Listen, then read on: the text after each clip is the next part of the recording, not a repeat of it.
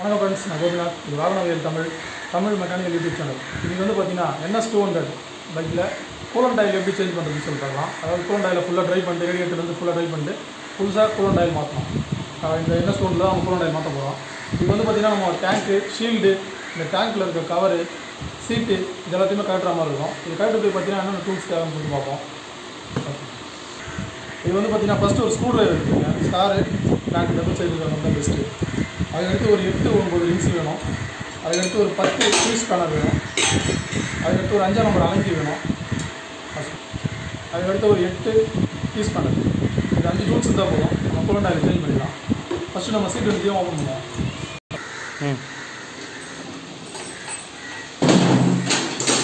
சீட்டை ஓப்பன்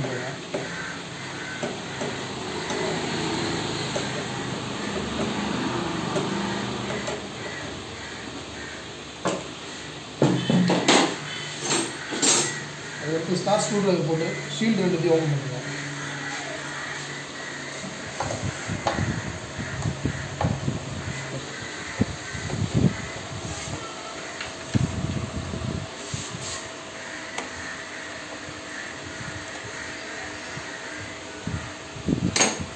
இதை ஷீல்டை கழட்டி விட்டுருங்க எல்லா ஸ்க்ரூவும் பத்திரமா வச்சுங்க மிஸ் பண்ணுறாங்க அது எப்படி கரெக்டாக ஸ்க்ரூ வந்து தனித்தனியாக வைங்க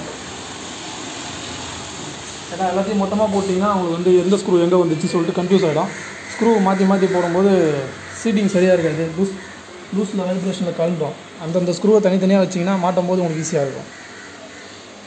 எந்த வேலை பார்த்தாலும் அப்படி தான் இன்ஜினே பிடிச்சா கூட எந்தெந்த ஸ்க்ரூ கழட்டுறமோ அதை அதை தனித்தனியாக வச்சிங்கன்னா உங்களுக்கு மாட்டும் போது வேலை ஈஸியாக இருக்கும். இல்லைனா நீங்கள் வந்து மொத்தத்தையும் ஒன்றா போட்டு எது எதில் வந்து சுற்றி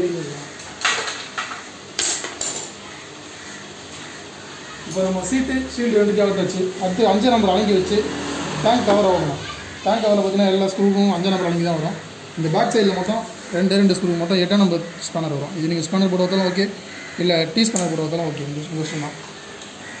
அலங்கி போட்டு யூஸ் பண்ணிக்கலாம்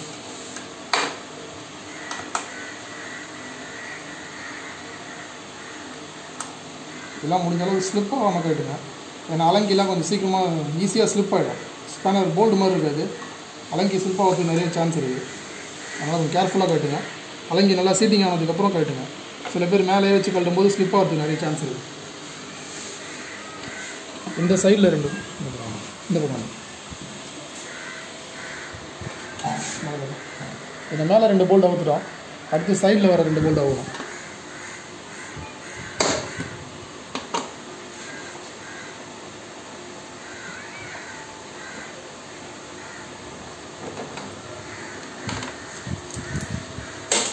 அதுக்கப்புறம் பார்த்தீங்கன்னா பிளாக் கலர் ரப்பருக்குள்ளே பார்த்தீங்கன்னா இந்த பிளாக் கலர் ரப்பருக்குள்ளே பார்த்தீங்கன்னா இது மாதிரி சின்னதாக ஒரு ரவுண்ட் ரப்பர் இருக்கும். அந்த ரப்பரை ஒரு ஸ்க்ரூ ட்ரைவர் வச்சு இப்படி வெளியே தள்ளினீங்கன்னா அந்த ரப்பர் வந்துடும் இதுதான் அந்த ரப்பரு இது உள்ளே பார்த்தீங்கன்னா ஒரு அஞ்சாம் நம்பர் அலங்கி போல்டு இருக்கும். அந்த அலங்கி போல்ட்டும் ஆகணும்.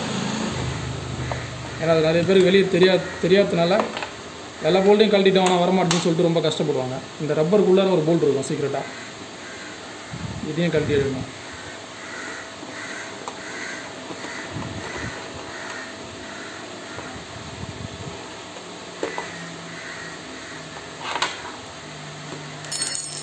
அடுத்து எட்டாம் நம்பர் ஸ்பேனர் இந்த டேங்குக்கு பேக் சைடில் இந்த வரைக்கும் பாருங்கள் இந்த ரெண்டு போல்ட்டு கழட்டணும்.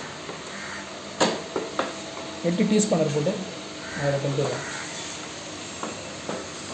நீங்கள் ரிங்ஸ் வேணால் ரிங்ஸ் போட்டு கழட்டலாம்.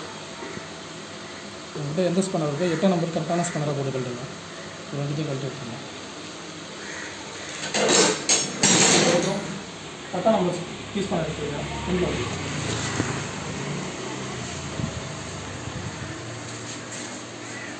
இங்கே உள்ளார ஒரு பத்து சைஸ் போல்டு இருக்கும். அந்த போல்டு கட்டணும்.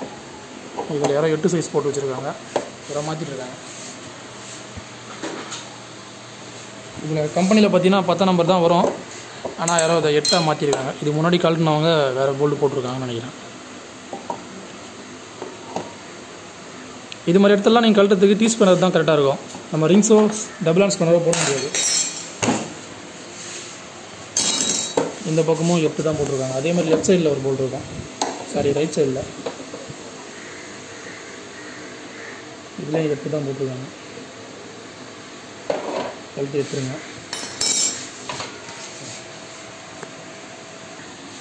அதே மாதிரி ரைட் சைடில் அதே மாதிரி ரெண்டு அலங்கி இருக்கும்.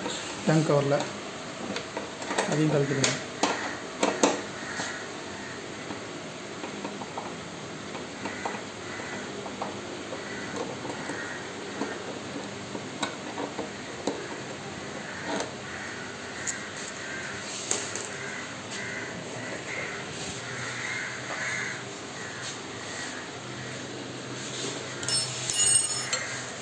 ரைட் சைட்லேயும் இந்த கருப்பு கலர் ரப்பர் உள்ளார ஒரு அலங்கி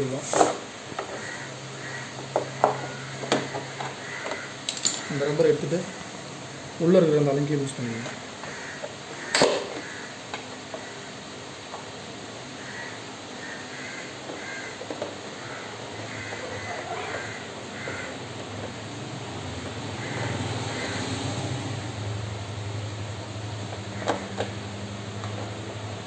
Yes, ma'am.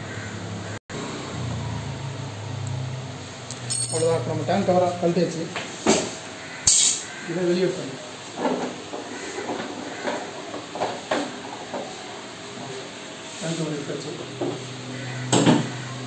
இந்த பக்கம் வந்து பார்த்தீங்கன்னா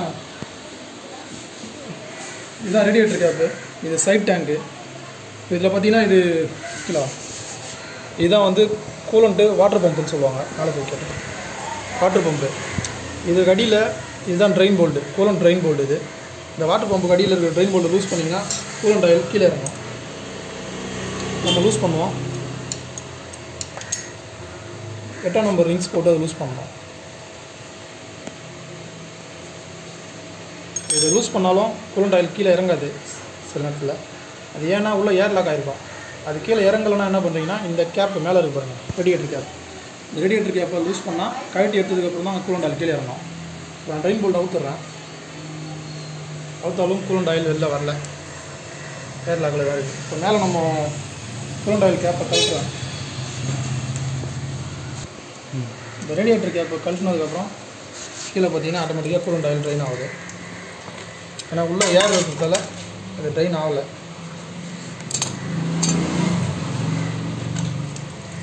ஃபுல்லாக கழட்டி எடுத்துட்டேன் அந்த கேப்பை. அதை கழட்டி எடுத்ததுக்கப்புறம் ஃபுல்லாக எல்லா கூலண்ட்டுமே ட்ரெயின் ஆகுது. உங்களுக்கு பார்த்தீங்கன்னா தெரியும்.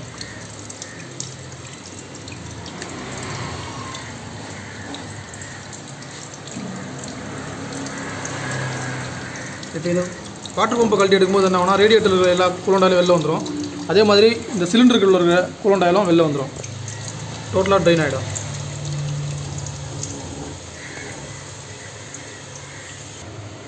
இப்போ வாட்டர் பம்பில் வழியாக எல்லாமே கூலண்ட் ஆயிலும் ட்ரெயின் ஆகிடுச்சு அடுத்து பார்த்தீங்கன்னா இந்த சைட் டேங்க் இந்த சைட் டேங்க்லேயே கொஞ்சம் கூலண்ட் ஆகிருக்கும் அதுக்கு என்ன பண்ணணும்னா இந்த சைட் டேங்கோட இந்த அடியில் ஒரு ஓஸ் இருக்கும்.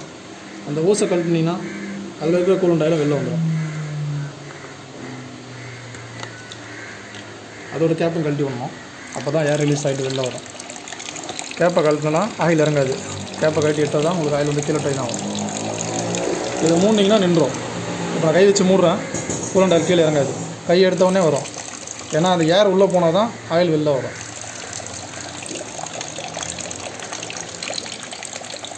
இது ஃபுல்லாக ட்ரைன் ஆனதுக்கப்புறம் நம்ம எல்லாம் மறுபடியும் ட்ரை போல்டெல்லாம் போட்டு அந்த ஓஸை கனெக்ட் பண்ணிட்டு புதுசாக கூலண்ட் ஆயிலை ஃபில் பண்ண வேண்டியிருக்கோம்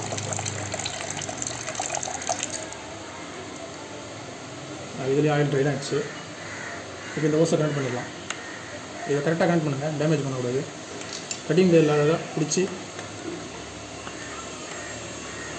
ஓசை உள்ளே சொருவிட்டு இந்த சட்டில் இப்போ லாக் பண்ணி விட்டுருங்க.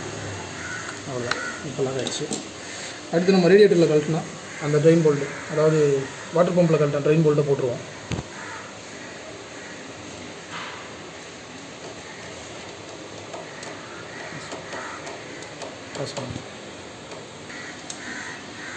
இந்த வாட்டர் பம்ப் எப்படி வேலை செய்யுதுன்னா இது வந்து நம்ம அந்த பக்கம் மேக்னெட்டில் இன்ஜினோட கிராங்க் சாட்டில் மேக்னெட் கண்டுபிடிப்பாங்க அது பக்கத்தில் பார்த்தீங்கன்னா கிராங்க் சாஃப்ட் பேலன்சர் கியர் இருக்கும். இதுக்கு ஸ்ட்ரைட் ஆப்போசிட்டில் மேக்னெட் சைட் பார்த்தீங்கன்னா crank shaft crank shaft balancer gear இருக்கும். அந்த கியரோட மூலம் கியர் மூலமாக ஒரு சாஃப்ட் வழியாக தான் அந்த வாட்டர் பம்ப் வேலை செய்யும். இந்த வாட்டர் பம்புக்கு உள்ளார பார்த்தீங்கன்னா ஒரு ஆயில் சீல் ஒன்று வரும். அந்த ஆயில் சீல் சப்போஸ் டேமேஜ் ஆயிடுச்சுன்னா என்ன ஆகும்னா கூலண்ட் ஆயில் வந்து இன்ஜின் ஆயில் கூட மிக்ஸ் ஆகிடும் சில நேரத்தில் வந்து கூலண்ட் ஆயில் சீக்கிரமாக குறைஞ்சிட்டே இருக்கும். நம்ம ஊற்ற ஊற்ற குறைஞ்சிட்டே இருக்கும். அந்த மாதிரி டைமில் என்ன ப்ராப்ளம் பார்த்தீங்கன்னா இந்த ஆயில் சீல் போகிறது அதிகமாக சான்ஸ் இருக்குது இந்த வாட்டர் பம்பை கழட்டி அது உள்ள ஒரு ஆயில் சீலை மாற்றணும்னா கூலண்ட் ஆயில் வந்து இன்ஜின் கூட மிக்ஸ் ஆகாமல் நம்ம தடுத்துடலாம். கூலண்ட் ஆயில் குறையிற ப்ராப்ளத்தையும் சால்வ் பண்ணிடலாம். இது மாதிரி எப்போச்சும் இந்த மாதிரி ப்ராப்ளம் அடிக்கடி வரும். இப்போ நம்ம ட்ரை போல்லாம் போட்டாச்சு ரோஸ்லாம் போட்டாச்சு கூலண்ட் ஆயில் ஃபில் பண்ணலாம். இது வந்து மோட்டோல் கூலண்ட் ஆயில் இது. ஃபில் பண்ணுவோம். ஒரு சின்ன ஃபனல் வச்சு கூலண்ட் ஆயில்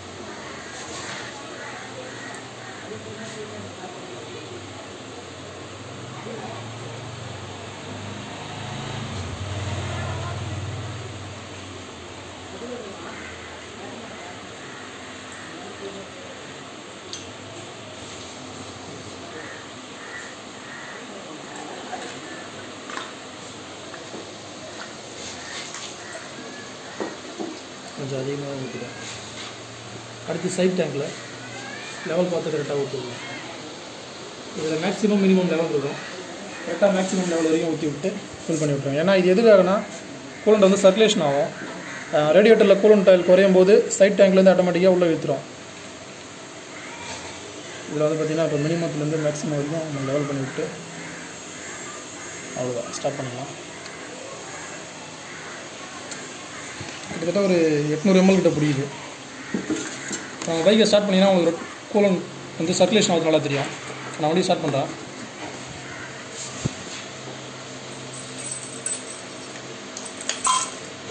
ஸ்டார்ட் பண்ணும்போது இதில் இருக்கிற கூலண்ட் ஆயில் வந்து இன்ஜின் உள்ள சர்க்குலேஷன் ஆகும்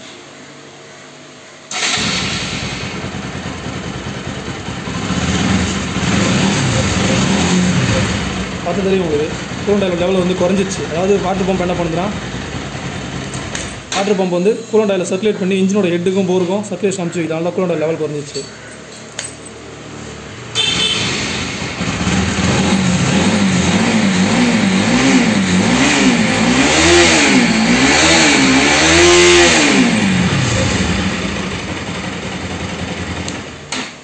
இப்போ மறுபடியும் ஒரு அஞ்சு நிமிஷம் கழிச்சு லெவல் கரெக்டாக வந்துடும் அப்படி சப்போஸ் வரலன்னா இன்னும் கொஞ்சம் ஆயில் ஊற்றி விட்ருங்க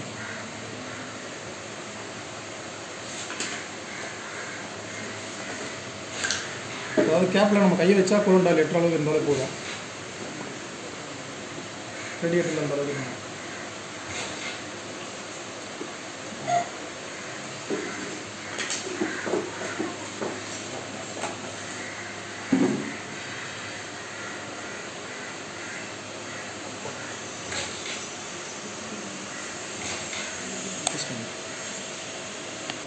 இப்போ கூலண்ட் ஆயில் ஊற்றி வச்சு ரேடியேட்டர் கேப்பை போட்டுருங்க. இது கரெக்டாக லாக் பண்ணணும். கரெக்டாக லாக் பண்ணணும். அதாவது இன்ஜின் சூடாக இருக்கும்போது இந்த ரேடியேட்டர் கேப்பை திறக்கூடாது திறந்தீங்கன்னா சப்போஸ் கூலண்ட் ஆயில் வந்து கொதிநிலை அதாவது நூறு டிகிரி கிட்ட இருக்கும்போது என்னன்னா அது நம்ம மேலே அடிச்சிடும். அப்புறம் கையை சுட்டுரும். அது மாதிரி சூடாக இருக்கிறப்போ நம்ம திறக்கத்தை அவாய்ட் பண்ணுங்கள் இதுலேயே போட்டிருப்பாங்க நெவர் ஓப்பன் ஹாட்னு அப்படி சப்போஸ் சூடாக இருக்கும்போது நம்ம திறந்து தான் ஆகணுன்ற சுச்சுவேஷன் வந்ததுன்னா நீங்கள் வண்டியை ஸ்டார்ட் பண்ணிவிட்டு திறந்தீங்கன்னா அந்த மாதிரி உங்களுக்கு வந்து மேலே தெளிக்கிற ப்ராப்ளம் வராது. இது இந்த வண்டின்னு இல்லை.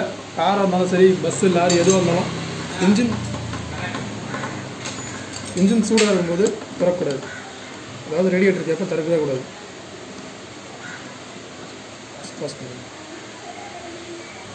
ம் இதில் பார்த்தீங்கன்னா இந்த லாக் வந்து யாரோ லாஸ்ட் டைம் கேட்டும்போது ரொம்ப நசுக்கிட்டு இருக்கிறாங்க நெலிஞ்சு போனதால் அது லாக் ஆகலை. அதனால தான் சுற்றிட்டே இருக்குது அதை நான் பண்ணிக்கி விட்டேன் சரி கரெக்ட் பண்ணதுக்கப்புறம் இப்போ கரெக்டாக லாக் ஆகுது அவ்வளோதான் ஏன்னா அது சரியாக லாக் ஆகணும்னா தண்ணி வந்து அதிகமாக ஹீட் ஆகி கொதிக்கும் போது என்னன்னா கேப் ஆட்டோமேட்டிக்காக ஓப்பன் ஆகிடும் பிடிங்கி அடிச்சிடும். அப்படி பிடிங்கி அடிச்சதுன்னா கூலண்ட் எல்லாம் வெளில வந்துடும் வண்டி ஓடுறவங்க மேலே தெரிச்சிடும் ஓகே ஃப்ரெண்ட்ஸ் இப்போ ஆயிலெலாம் மாற்றியாச்சு அப்புறம் மறுபடியும் கரெக்ட்னா அந்த டேங்கோட கவரு சீட்டு சைடு ஷீல் எல்லாத்தையும் மாட்டிக்கலாம்.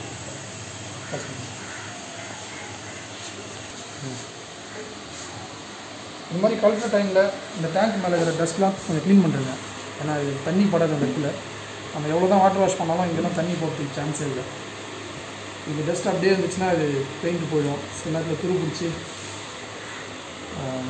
டேங்கே ஓட்டி ஆகிற ப்ராப்ளம்லாம் வரும். இந்த வந்து லைட்டாக ஒரு குயிக் பேஸ்ட் போட்டு ஒட்டி விட்டுருவோம்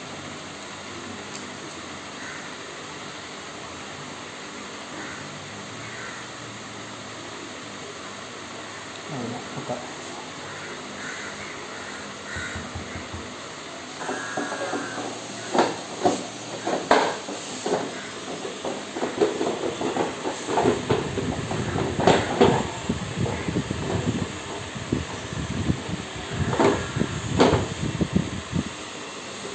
சரி ஆயிடுச்சு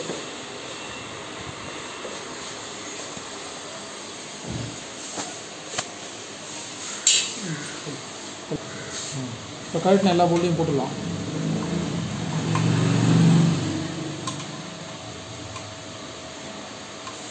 எல்லா போல்ட்டையும் சும்மா ஒரு ரெண்டு ரெண்டு முறை கையில் ஏற்றிக்கணும் ஏற்றிக்கிட்டு கடைசியாக எல்லாத்தையும் ஒரு ரவுண்டு டைட் பண்ணி விட்டுருங்க எதையும் மறந்துடாதீங்க.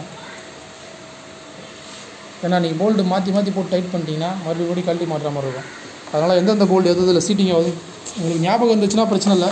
சப்போஸ் ஞாபகம் இல்லைன்னா போட்டு பாருங்கள் சில போல்ட் வந்து மாட்டும் போது தெரியும். இது இந்த இடத்துல வரல வேறு இடத்துல வரும்ன்ட்டு. அந்த மாதிரி மாற்றி போட்டிங்கன்னா நீங்கள் உடனே ஈஸியாக கழட்டி மாட்டிக்கலாம். நீங்கள் எல்லாத்தையுமே ஃபுல் டைட் பண்ணிட்டீங்கன்னா எடுத்தோடனே உங்களுக்கு வந்து மறுபடியும் மறுபடியும் லூஸ் பண்ணி லூஸ் பண்ணி கழட்டி மாட்டுற மாதிரி இருக்கும். எல்லாத்தையும் முதல்ல எல்லாத்தையும் சீட்டிங் பண்ணி பாருங்கள் எல்லா போல்ட்டு போட்டு பாருங்கள் எல்லாம் அது சீட் ஆச்சுன்னா ஓகே அப்படியே டைட் பண்ணிக்கலாம். ஓகே ஃப்ரெண்ட்ஸ் இதுதான் ஒரு என்எஸ் டூ ஹண்ட்ரடில் எப்படி கூலண்ட் ஆயில் மாற்றுறதுன்னு சொல்கிற மெத்தட் இது. வீடியோ பார்த்துக்கு ரொம்ப நன்றி. வீடியோ பிடிச்சா லைக் பண்ணுங்கள் நம்ம சேனலை சப்ஸ்கிரைப் பண்ணுங்கள் இன்னும் நிறைய நல்ல வீடியோஸ்லாம் போகிறதுக்கு ஓகே ஃப்ரெண்ட்ஸ் தேங்க்யூ